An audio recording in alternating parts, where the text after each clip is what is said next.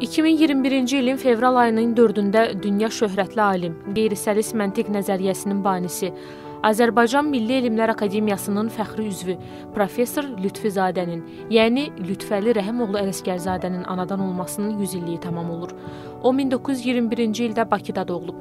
Lütfizadə dünya miqyasında əsərlərinə ən çox istinad olunan alimlərdəndir.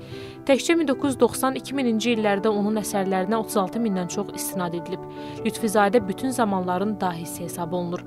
Akademik Rafiq Əliyev bildirir ki, dahi şəxsiyyətlər o kəslər sayılır ki, onlar öz zamanını yüz illər qabaqlaya bilir.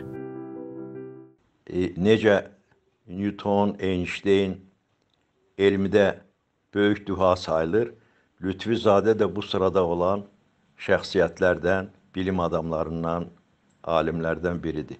Newton vaxtı ilə klassik mexanikanın əsasını qoydu və Einstein göstərdi ki, bu nəzəriyyə müəyyən sərhəddə qədər işləyir.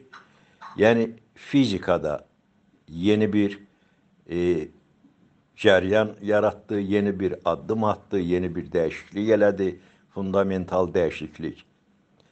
Amma Zadənin nəzəriyyəsi isə qeyri-səlis məntiq nəzəriyyəsi nəinki tək bir elmi sahəsində, bütün elmlərə təmas etdi və bütün elmləri dəyişdi. Və ilk növbədə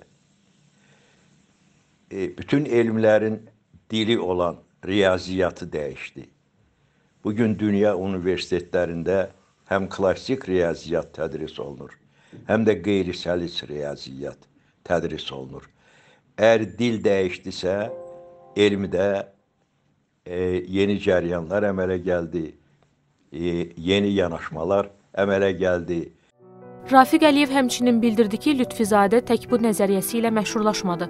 Onun çox böyük 6 mühüm nəzəriyyəsi var və həmin nəzəriyyələr bütün dünyada çox böyük fundamental dəyişikliyə səbəb oldu.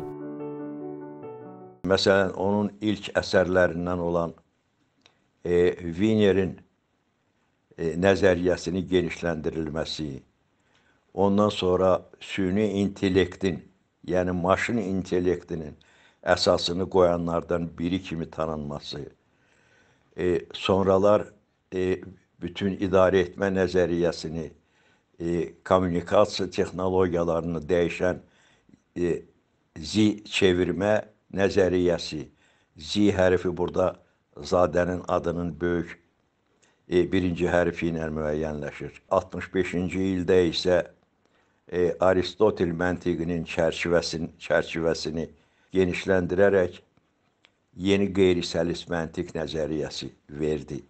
Və bu nəzəriyyənin kökündə isə ən əsas bir şey durur. Dünyaya tolerantlıq. O nəzəriyyə həmişə ümumiyyətlə güclü sayılır ki, o real həyatda olan qeyri-müəyyənlikləri, bilmədiklərimizi daha adekvat, daha dürüst yaza bilir. Azərbaycanlı olduğunu fəxrlə bildirən və ürəyi daim doğma vətəni ilə bir döyünən Lütfizadə elm və texnologiyaların inkişafında, eləcə də mədəniyyətlər arası dialoqun qurulmasında misilsiz xidmətlərinə görə Azərbaycan Respublikasının ali mükafatlarından olan Dostluq ordeninə layiq görülüb. Xatırladaq ki, prezident İlham Əliyev görkəmli elm xadimi Lütfizadənin 100 illiyinin qeyd edilməsi haqqında sərəncam imzalayıb.